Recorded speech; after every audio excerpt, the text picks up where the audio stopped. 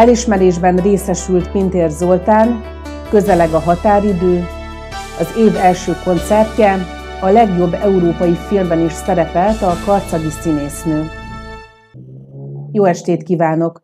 Önök a Nagykunsági Híradót, a Karcag Televízió napi hírműsorát látják 2020. február 11-én 18 óra 5 perckor. A Karcagvárosi Önkormányzat képviselő testülete a Karcagváros kultúrájáért díjat a város érdekében végzett kiemelkedő nevelő-oktató munka elismeréseként dr. Pintér Zoltán Árpádnak adományozta. Dr. Pintér Zoltán Árpád 2011. augusztusától a Karcagi Nagykorreformátus Gimnázium és Egészségügyi Szakgimnázium tanára. 2011-ben a Debreceni Egyetemen szerzett történelem földrajz tanári diplomát. Kiváló, szakmai felkészültségének köszönhetően tanítványai érettségi eredménye rendre messze felülmúlják az országos átlagot. Diákjai a megyei és országos versenyeken kiválóan szerepelnek rendszeres szervezője a különféle tudományos konferenciáknak és tanulmányutaknak, nagyban hozzájárulva ezzel a keresztény nemzeti értékek képviseletéhez. Az intézmény határain túllépve jelentősen a város érdekében végzett közéleti szerepe.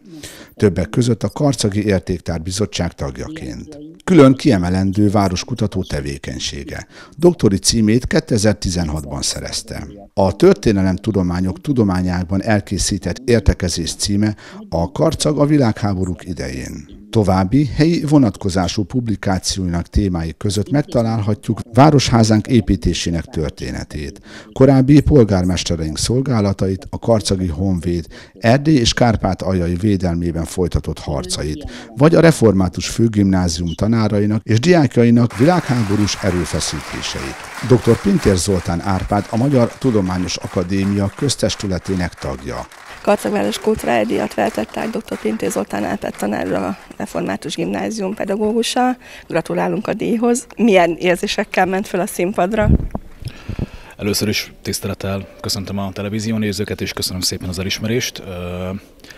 Őszintén borzasztóan zavarban voltam, ugyanis ahhoz hihetetlenül hozzá vagyok szokva, hogy mondjuk nagy közönség előtt, 30-35 diák előtt, esetleg egy történész konferencia, 100 néző előtt szakmai alapon előadást tartsak, kifejtsek bizonyos történelmi problémákat, amikor viszont én vagyok a középpontban, és jelen esetben egy rövid ideig, egy 15 másodperces hírnévig én voltam a középpontban, akkor nagyon zavarban voltam. Ezt nem tagadom, díjat kapni mindig hatalmas elismerés, mindig egy egyéni teljesítmény tükröződik egy díjban, azonban a, a magyar kultúráért, jelen esetben a magyar kultúra megélésén keresztül Karcagváros kultúráért kapott díj, az valójában sokkal több ennél, én úgy érzem. Egy pár évvel ezelőtt egy kiváló közéleti szereplő, egyébként karcagi közéleti szereplő szájából hallottam azt a mondást, hogy a kultúra nem beteg, hogy ápolni kelljen, és nem rab, hogy őrizni kelljen, a kultúrát azt meg kell élni. Ezt én nagyon igaznak vélem, és őszintén megmondom, hogy átvettem ezt a mondást magam is. A kultúrát meg kell élni, megéljük a táncban, megéljük a zenekultúrában, megéljük az irodalomban, megéljük a szaktudományok ápolásában. Ha én az egyéni tevékenységemmel hozzájárulhattam ahhoz, hogy öregbítsem a város kultúráját, vagy a térség önismeretét, történelmi önismeretét, akkor arra büszke vagyok, viszont nem felejtjük el, hogy ez sok más előttem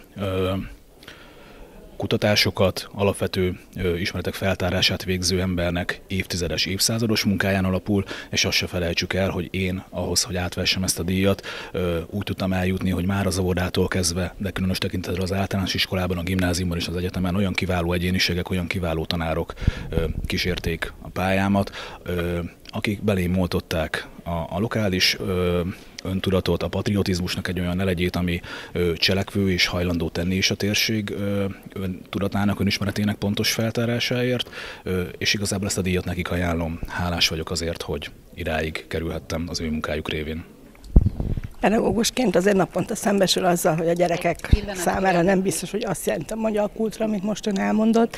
Hogyan próbálja az, a saját osztályát, beszéljünk csak a saját osztályáról rávenni arra, hogy könyvet olvassanak, ne cseteljenek egymással egy asztalnál, hogy a polgármester asszony is utalt rá, hogy már beszélgetni is elfelejtenek. Tehát a saját osztályában hogyan próbálja őket a magyar kultúrába belevinni egy kicsit? Valóban elképesztő egyébként a, a, a mai generációknak a, az érdeklődése. Én egyébként tíz éve vagyok a pályán, jó pár osztályt végigkísértem már, sőt saját osztályként is a második osztályomat kísérem. Azt kell mondjam, hogy tíz éves viszonylatban is már egy picit másabbak a gyerekek.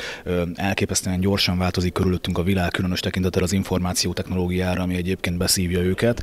Valahol ez nem baj, hiszen felkészíti őket egyébként egy olyan felnőtt létre, ahol ez központi szerepű lesz, viszont valóban a, a hagyományos kultúrához való hozzáférésük, a, a magyar irodalmi kánonhoz, a, a szép irodalomhoz, az alapvető irodalmi munkáinkhoz, a, az alapvető kulturális produktumainkhoz való hozzáférésük az, ö, azt talán ö, még egy picit irányításra szorul. Osztályfőnökként nekem elsősorban abban van a feladatom, hogy próbáljam őket a magyar ünnepkor, ünnepkörök, emlékezetpolitikai események, alapvető irodalmi, kulturális munkák megismerésében gyakorlatilag iránymutatóként vagy egyfajta fákjaként vezetni, viszont történelem tanárként tudok ebbe egyébként jobban bekapcsolódni. Történelem tanárként, ha aktuálisan feldolgozunk valamilyen történelmi korszakot, valamilyen történelmi problémakört, akkor mindig fel kell tárni annak kulturális vonatkozáspontjait, fel kell tárni az irodalomban, a, akár a filmművészetben, hiszen az sokkal közelebb áll hozzájuk,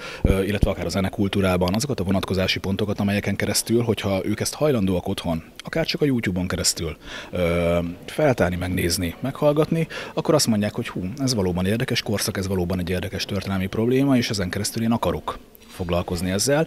Én azt kell, hogy mondjam, hogy azért vannak ilyen diákok, nem is kevesen, akiknek céltudatosságuk van, a céltudatosságuknak pedig alárendelik azt, hogy ők hajlandóak tenni tevőlegesen energiát, időt áldozni ahhoz, hogy a, a hagyományos kulturális médiumok felé is forduljanak.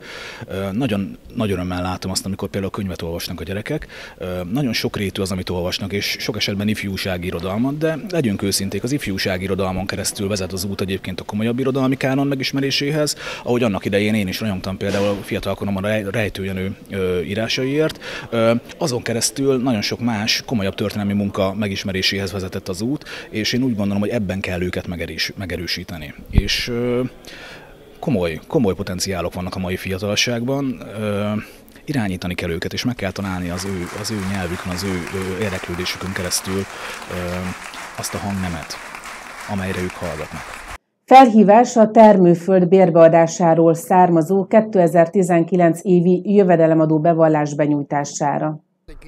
Tájékoztatjuk adózóinkat, hogy a termőföld bérbeadásból származó jövedelem bevallását a kifizetőknek a jövedelem megszerzésének évét követő év, február 25-ig a magánszemélyeknek a jövedelem megszerzésének évét követően év március 20-ig kell teljesíteni. A bevallás teljesítéshez rendszeresített nyomtatvány az e-önkormányzati portálon érhető el, valamint az ügyfélkapun keresztül elektronikusan is benyújtható. Az adóbefizetéseket a Karcagvárosi Önkormányzat képernyőn olvasható számú termőföld bérbeadásából származó jövedelemadó számla javára kell teljesíteni. További felvilágosítás kérhető Karcagon a Városháza földszint 40 számú helységében, illetve a 0659 500 652-es telefonszámon kérhető. Nagy sikerű újévi hangversenyt adott a Dériné Kulturális Központban a Szolnoki Szimfonikus Zenekar. Szólistaként közreműködtek Lőrinc Judit és Bot Gábor énekesek mint Ignác Ervintől, az Egyesület ügyvezetőjétől megtudtuk, a több mint fél évszázadon működő együttes Jásznagykun Szolnok megye egyetlen hivatásos szimfonikus zenekara. Ebből adódóan jelentős szerepet tölt be Szolnok és a megye komoly zenei életében. Mi hivatásként kezeljük azt, amióta a zenekart építjük és működtetjük, 12 éve körülbelül, nem csak, nem csak Karcagon, hanem a megyében, és a, persze a világban mindenfelé nagy szeretettel megyünk, de a saját, saját lokálpatriotizmusunk, a megye, és különösen azt is mondhatnám, hogy nagyon nehezen alakult ki Karcaggal a kapcsolatunk, de most már ez nagyon jó, és, és tényleg örömmel jövünk. A karcagi közönség nagyon jó fogadott bennünket, főleg augusztus 20-a volt emlékezetes a számomra, és és ezek, a, ezek, a, ezek az elemek, amik, amiket mi adunk a művészet által, az előadó, művészeti által, előadó művészetnek az erejét, ahogy, ahogy közvetítjük, sugározzuk, ez, ez nem múlik el máról hónapra, hanem sokáig benne van, remélem a nézőkbe, bennünk is, és Hát mi ezért élünk, hogy ezt közvetítsük, és, és tényleg, tényleg szeretel, szeretettel jövünk ebbe a városba. A zenekar művészeti vezetője Izaki Masahiro japán karmester, és Karcagon egy fiatal, ugyancsak japán Csufoni Kanai vezetésével léptek színpadra a művészek. Toshi Fuminak hívják a, a karnajot, vagy karmestert, ő is japán, mint a főzenigazgatónk Izaki Masahiro. Ő gyakorlatilag a kapcsolatunk négy, négy éves körülbelül, és azt kell mondanom, hogy mi nagyon szeretünk, érdekes módon a, a kollégám is, Patkós Imre kollégám is nagyon szeretünk ázsiai vagy japán karmesterekkel dolgozni, mert azon kívül, hogy intelligensek, bennük van az a, az a művészet iránti alázat, mint egy ázsiai ember, ami, amit nem minden nációban mondható el. És ezért, ezért a kisugárzások és a, a, a működésük is ezt, ezt akarja, úgyhogy biztos, hogy meg lesznek elégedve a, a karcagi nézők a munkájával. Az együttes állandó részvevő a Szolnoki és a megyeházi és a világi rendezvények közreműködője a Szolnoki Szigligeti Színház zenés darabjainak. Repertoárja a baroktól a kortárs zenéig szinte minden stílus korszakot felölel. A zenekarnak a portfóliója, a működési portfóliója nagyon széles, nagyon sok területen áll, tehát vannak a normál koncertjeink, és vannak az ifjúsági koncertjeink, vannak edukációs programjaink, workshopok, masterclassok, ahol, ahol gyakorlatilag a világ minden részén jönnek Brazíliától, Japántól, Kínától elkezdve vezényelni, tanulni a, a, a zenekart. És ennek a másik oldala, amikor mi megyünk. Hát nyilván ez kellemesebb dolog, csak ugye a mai világban azt elérni, hogy, hogy meghívjanak előadó művészetbe egy, egy, egy szervezetet, az nagyon, hogy mondjam, sok munka, sok kapcsolat, és alapvető módon a legfontosabb a tudás, mármint a művészeknek a tudása, mert csak azt tudjuk eladni, szakmai alapon épült föl az a zenekar, és ezt a tudást, ezt már, hogy is mondjam, csak megveszik. És, és ez, ez a piacon való megjelenésünk elég intenzíven próbáljuk jelenlétünket hát hogy is mondjam csak, garantálni. De visszatérve még a nyári programra, természetesen nyáron is csináljuk a nyári fesztiválunkat, a Szolnoki Szimfonikus Nyarat, és ellátogatunk akkor is Karcagra. Nyáron 40 fő japán érkezik hozzánk, és operakurzus lesz. Tervezzük, most jöttünk haza persze Kínából nem olyan régen, továbbra is tervezzük, meg vagyunk hívva Bécsbe a muzikferányba újra, továbbá Salzburgba, a város és a térség zenei igényeinek kielégítése mellett kiemelkedő feladatának tekinti az ifjúság zenei nevelését is, melynek hagyománya az alapítás időpontjai nyúlik vissza. Elsősorban magyar művek, illetve bécsi klasszikusok fognak elhangzatni. Hogy is mondjam csak, a, a, ennek a névnek a hallatán, hogy, hogy újévi köszöntő. Tehát ez a, ezek a könnyed műsorszámok vannak, amiben közreműködnek e, két, két szólistánk, e, Bot Gábor és Lőrinc Juci, aki, Judit, bocsánat, művésznő, akik, akik, akik tapasztalt előadók, és már nem, egyszer, nem először vannak itt Karcag városába. És ők is mondhatom, hogy örömmel jönnek, mert, mert azt mindenki látja és tudja, és bocsásson meg mindenki ezért, de Magyarország nem csak a székes fővárosból áll, hanem itt is élünk, és igényeljük az, azokat a kulturális elemeket, amiket egy, egy magasabb színvonalú előadóművészet képvisel. Az elmúlt években Európa számos országában jártak már, Ausztrián, Németországon, Franciaországon és Portugáliáig. Nemrég Kínában népszerűsítették hazánk és térségünk komoly zenei kultúráját. Karcagon sem először léptek már fel, mint megtudtuk, augusztusban újra találkozhatunk az együttessel. 2018-ban a legjobb európai tévéfilm díját kapta meg az Örök Tél című történelmi dráma, amelyben a karcagi származású Szendrei Gitta színművész, drámainstruktor egy deportált lányt alakít. A filmben olyan ismert művészekkel dolgozhatott együtt, mint Gera Marina és Csányi Sándor. Mit lehet tudni a művésznőről, hol tart most a pályán, milyen tervei vannak még, ezekről is kérdezzük hírstúdiónkban. Mai vendégünk Szendrei Gitta, színművész, drámainstruktor. Köszöntelek, köszönöm, hogy elfogadtad a meghívásunkat, és mivel régóta ismerjük egymást, ezért tegeződünk. Honnan indult a pályád? Mit lehet erről a kezdetről tudni?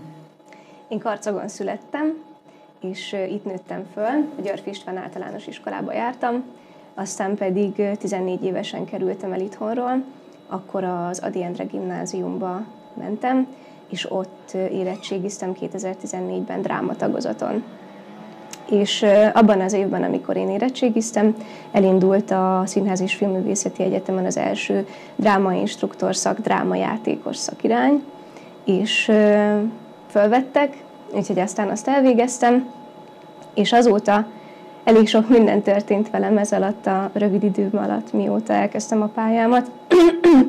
A Katona József Színházban kezdtem Budapesten, ott töltöttem a gyakorlati évemet, aztán egy évre leszerződtem, Ö, aztán egy év után úgy döntöttem, hogy, hogy más utakra indulok, és ö, akkor a Radnóti Színházba szerződtem, abban az évben elindítottuk egy kollégámmal a Budörsi Latinovics Színház színházi nevelési műhelyét. Közben ugye most diplomházok, színháztudománymester szakon a Károli Egyetemen.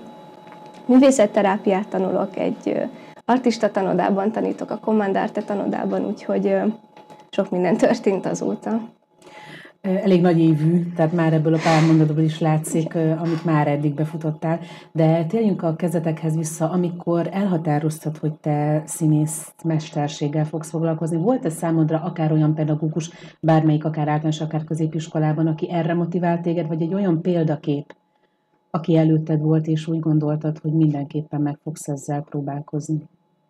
Nagyon érdekes, mert ahogy visszaemlékszem, amióta beszélni tudok, volt egy ilyen késztetés a részemről, azt hiszem. Szóval én, mikor pici voltam, akkor sosem babáztam például, hanem, hanem így mai szemmel nézve improvizáltam jeleneteket, egyedül is, meg a barátaimmal is. És aztán az általános iskolában kettő tanárnőnek köszönhettem nagyon-nagyon sokat, Posztos Négy Armatéva tanárnőnek és Fazekas Mária tanárnőnek. Tulajdonképpen ők voltak azok, akik elindítottak a pályámon. Ugye Marika nénihez jártam színjátszó szakkörre, másodikos koromtól kezdve, szóval igazából ö, azóta színpadon állok, kisebb-nagyobb megszakításokkal. Mm, és ugye Éva néni pedig fölkészített a kazinci versenyre, prózamondó versenyekre, szavaló versenyekre, úgyhogy ők, ők nagyon fontosak az én pályám során őket emelném ki. A Színház és Filmművészeti Egyetemen, amikor felvételiztél, szerintem máj napig mindenkinek ez egy ilyen varázs birodalmat jelentett, aki egy kicsit szeretne ezzel foglalkozni, hogy érdeklődést érez magában ezen pálya felé. Mesélj nekünk erről, milyen egy felvételi, neked milyen volt, hogy teltek ott az évek, mi hm. volt talán a legmeghatározóbb élményed az egyetemi évek alatt? Öm, arra a szakra, amire én felvételiztem, arra három rosta volt a, a felvételi. Az első rosta az egy műveltségi teszt volt, mm, annak a fele az, az ugye a tudást méri fel, egészen széles skálán, szóval a, a történelmi kérdésektől kezdve, vagy a művészeti kérdéseken át minden, minden megtalálható volt a tesztben. Ö, ugye a másik fele az, az ilyen kreatív írásos gyakorlat volt. A második rostán ott volt egy, ö, le kellett adnunk előre egy előadás elemzést, azt hiszem, és aztán erről volt egy, egy személyes beszélgetés, és a harmadik rost az pedig egy, egy egész napos együttélés volt, ahol ugye azt hiszem, olyan 30-an maradtunk addigra már talán, és akkor ott személyesen mérték fel különböző feladatokon keresztül, hogy ki mennyire alkalmas. Ö, nehéz ez egyébként, nem, nem tudom, hogy, hogy mennyire lehet jól felmérni ezeken keresztül, bár nem tudok rá jobb módszert mondani én sem. Mm, de hát én nagyon izgultam, szóval azért ez elég meghatározó volt akkor. Mm, ugye én három évet töltöttem az egyetemen, és én kollégista voltam, és egyrészt számomra meghatározó volt ismét egy új városba kerülni, Budapestre, azért nekem az időbe tellett, mire megszoktam, és három évig igazából szinte csak az egyetemen voltunk benn, mm, hogyha eljártam, akkor előadásokat néztem, mondjuk azt rengeteget. Talán ami hiányzik most abból az időszakból, hogy rengeteget jártam különböző színházakba, különböző előadásokat nézni, kiállításokra, akkor elég intenzíven jártam ilyen helyekre, és ö, talán, talán ez volt a legmeghatározóbb, hogy annyira ott mozogtunk, és annyira egybe voltunk, és nem, nem igazán tudtam kiszakadni ebből a környezetből, hogy aztán már egy picit jól esett, mikor kikerültem. Elvégezted az egyetemet, mi volt az első szereped, hol kaptál állást?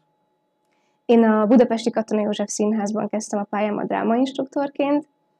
Öm, ott töltöttem a gyakorlati évemet, és aztán leszerződtettek egy évre. És eleinte, amikor színészként dolgoztam, én főleg filmes munkákat kaptam. Mm, színházi munkám, ami ilyen komolyabb azóta, az a Fém színházban van, ez a színház, ez pont egy éve nyílt, októberben volt a születésnapja, és ott volt egy beugrásom a Happy New York című előadásba, illetve az Annuska 2.0 című előadást játszok azóta is. A Váci utcában van ez a színház. Én nagyon-nagyon szeretem, nagyon jó a közösség, sokat tanultam, és hát elég nagy élmény, hogy például Andai Katival állhatok egy színpadon, szóval ez, ez igazán meghatározó számomra. Mm, filmes munkák közül néhány van, amire szívesen visszaemlékszem, és amit kiemelnék. Volt egy, egy főszerepem egy rövid filmben, ezt Dubinyák Réka rendezte, az a címe, hogy Én, te, ők, és ez azért volt nagyon különleges, mert ez egy kb. 20 perces vagy negyed órás rövidfilm, de csak én játszom benne. Ez egyébként egy ilyen dokumentumfilm sorozatnak a harmadik része. És egy nap alatt vettük fel, az nagyon nehéz volt. Pláne úgy, hogy az utolsó jelenettel kezdtük, amikor már mindent el kell játszani, amikor már, már minden megtörtént ezzel a lányjal. Úgyhogy persze van egy csomó gyerekbetegség abban, ahogy játszom benne, de, de, de nagyon-nagyon jó élmény volt, és sokat tanultam benne belőle. Aztán volt egy másik rövid film, aminek az a címe, hogy Napély, ez még mindig utómunka alatt áll, de itt is sok izgalmas feladatom volt. Víz alatti jelenet, hidegben voltunk egész nap, ráadásul egy nagyon, nagyon csúnya betegség után voltam, szóval én a forgatás előtti napon nem bírtam még fölkelni, és aztán másnap meg, meg végig toltuk a napot, úgyhogy ez is emlékezetes. Aztán volt ugye az öröktél, Szászatillával, az, az volt még egy nagyon-nagyon meghatározó élmény számomra, és most szeptemberben forgattam egy, egy spanyol sorozatban. Ez majd most fog kijönni 2020-ban.